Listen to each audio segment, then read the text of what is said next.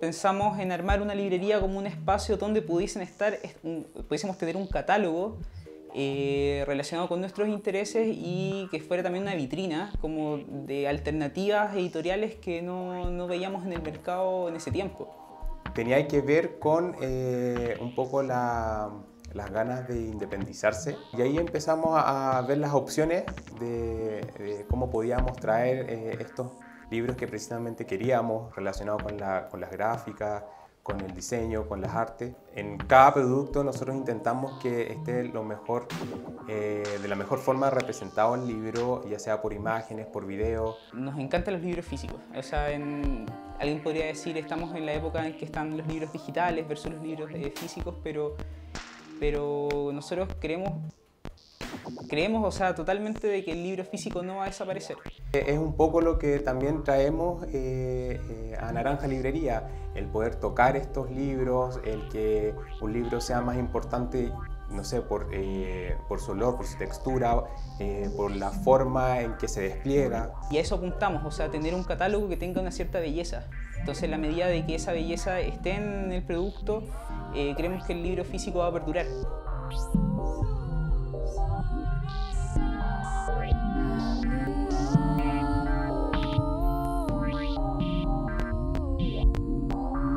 También tenemos un espacio showroom, que es este precisamente, en el que la gente viene, eh, se sienta con nosotros, tomamos un café y revisamos los libros que tenemos. Decidimos eh, eh, tomar el camino de Santiago Creativo porque sentíamos que había muchas cosas que no sabíamos en relación a, las empresas. Comenzamos a, a, pensar en definitiva cosas que no habíamos pensado antes. No es solo hacer el curso y es seguir con ello, eh, hay mucha confianza. Y comenzar a pensar como, como, empresarios. Yo creo que ese es como uno de los puntos que, que tiene relación como, que, tiene directa como eh, responsabilidad la asesoría con Santiago Creativo.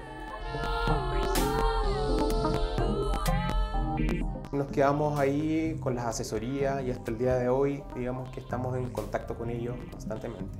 Es una de las cosas buenas de Santiago Creativo, que hay un constante seguimiento de los emprendimientos que llegan. Teo Creativo un poco nos despertó y pudimos perfeccionar como nuestro modelo.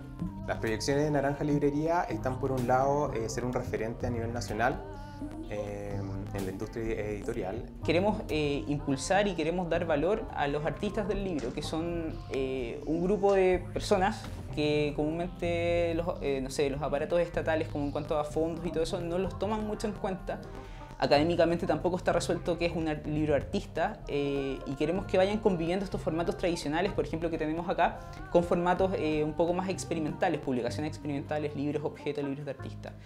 El otro tema es que queremos que nuestra página tenga venta internacional, es decir, que nuestra página web permita que estos artistas del libro chilenos eh, puedan confiar en nosotros y que puedan ver en nuestra página web, en nuestro espacio, una vitrina donde personas de distintas partes del mundo puedan llegar a su trabajo. Eh, para mí Naranja Librería, la verdad, es, eh, es mi vida en este momento.